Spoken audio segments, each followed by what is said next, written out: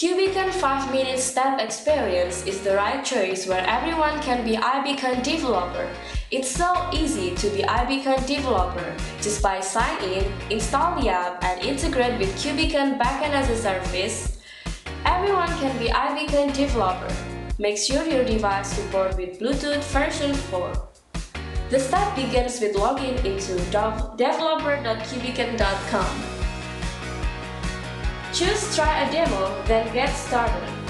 You will be led to our Backend as a Service. The first step is to complete beacon data, such as name, UUID, major, and minor. The second step is to choose the storyline. Choose what you want to show in the smartphone. You can choose whether it's a text or image, then choose the background. The last step is get demo apps.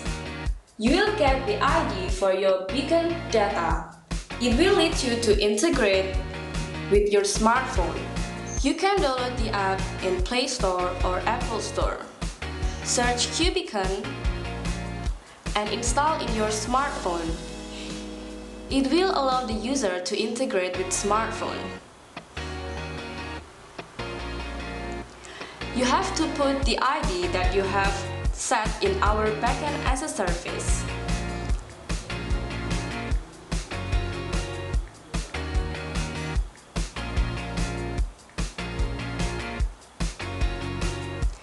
And at last, you are joining Cubeacon backend as a service.